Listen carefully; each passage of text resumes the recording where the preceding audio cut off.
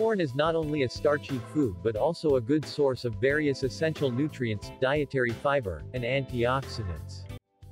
However, only 21% of the total corn production is used for human food consumption, and the usual method of corn preparation, such as boiling, does not maximize its nutritional benefits. In 2019, the Department of Agriculture Bureau of Agricultural Research funded this project entitled Development of Nixtamalized Philippine Corn for Food, Health, and Nutrition, which aimed to improve the nutritional quality of two locally available corn through nixtamalization.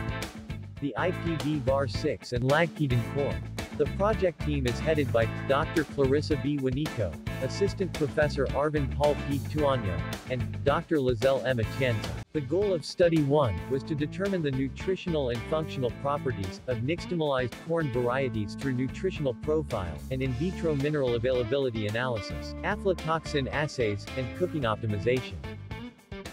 Study 2 developed high-value food products and recipes utilizing nixtamalized corn varieties through recipe trials. The project was able to develop three high-value and commonly consumed food products, two rice nixtamalized corn grits blends, and 13 household recipes standardized containing nixtamalized corn flour. Lastly, Study 3 determined the in vitro lipid-lowering potentials of nixtamalized corn varieties, using pancreatic lipase and cholesterol micellar solubility. Results showed that nixtamalized corn and corn products, in crude and hydrolyzed forms, have the potential to lower blood lipid, in vitro. The sensory evaluation revealed sensory qualities that are comparable with their original counterpart, but their nutritional value was superior as seen by their improved proximate and mineral content, and contribution to daily nutritional needs.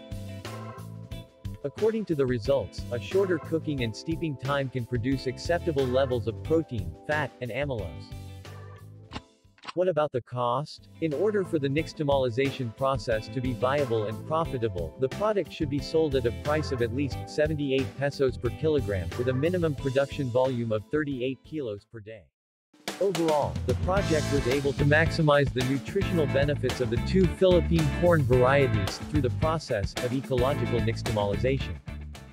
The process should be shared with local government units or possible technology adapters who can produce the nixtamalized corn products in a larger scale, hence, providing a healthier alternative for the Filipino consumers.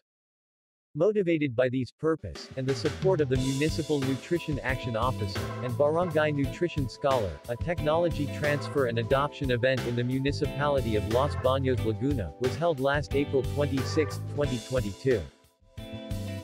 Ms. Alforja, in her opening remarks, highlighted the importance of corn in the diet of Filipinos. While the graduate fellows, who were mentored by the project, gave a talk on the background of nixtamalization, its effects, and process. One of the most exciting parts was the taste testing, where the products were tasted and enjoyed by the participants, while watching the nixtamalized recipe videos.